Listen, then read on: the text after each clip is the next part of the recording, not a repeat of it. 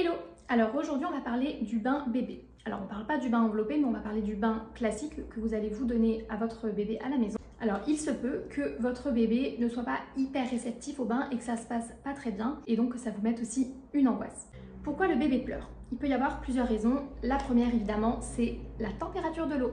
La température de l'eau doit impérativement être à 37 degrés, pas moins, et peut-être plus en fonction des bébés. Ça, ce sera à vous de voir en fonction de votre bébé. Peut-être que bébé aussi n'est pas hyper fan de l'eau, c'est possible, c'est pourtant un milieu qu'il connaît bien, mais il peut aussi euh, garder en lui des mémoires de l'eau, notamment de l'accouchement qui ne se sont pas hyper bien passées, et euh, ce sont des mémoires négatives qui sont ancrées en lui. Donc ça va être à vous de changer ça.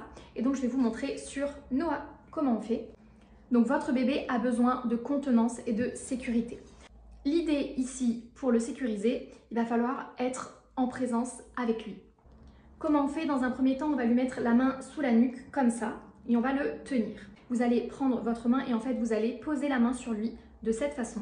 Ça va le sécuriser, il va se sentir contenu comme s'il était dans votre ventre et surtout, le secret, c'est d'être présent avec lui au niveau du regard et au niveau de la parole.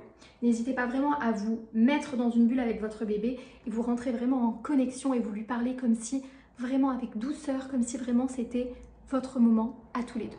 Et vous verrez, le bain se passera beaucoup mieux. Et enfin, ça peut aussi dépendre un peu de vous. Si vous êtes stressé, bébé, on le sait, c'est une éponge et il va ressentir votre stress. Alors essayez de vous détendre un maximum parce que grâce à toutes ces infos, maintenant, vous êtes au top.